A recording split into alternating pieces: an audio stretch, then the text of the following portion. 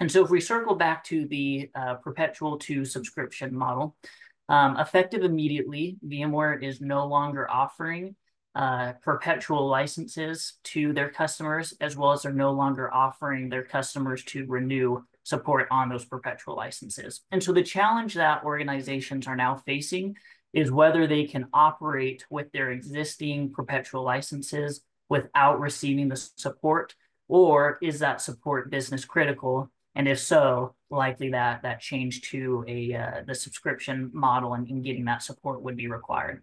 One piece of information that might be helpful as you're making that decision is an announcement that Broadcom CEO made last week. He did announce that Broadcom will be offering free uh, zero day security patches for some perpetual licenses. And so while that's certainly great news for Broadcom's customer base, we do want to caution that it's not necessarily the silver bullet that it might initially seem.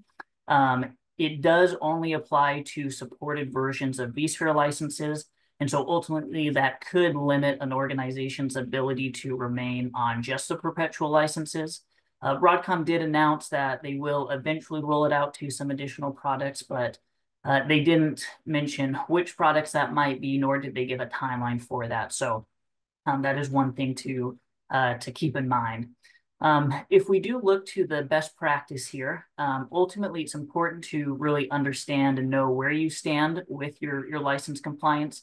And uh, these best practices that we have, um, if they're utilized, we think can really help you as you make that decision. And so we recommend that you do complete periodic effective license positions that will help you understand your organization's compliance status going into uh, upcoming renewals as well as we recommend that you implement a robust demand planning process that will pave the way for your optimization roadmap.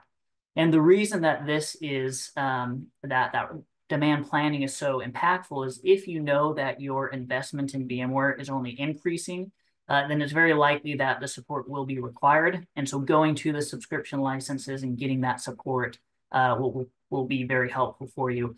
Whereas on the flip side, if you know that your demand is decreasing and, and maybe even have plans to sunset your, your VMware environment, at that point, it, it is possible that uh, sticking with the perpetual licenses until you decommission the environment uh, would give you enough um, that you need.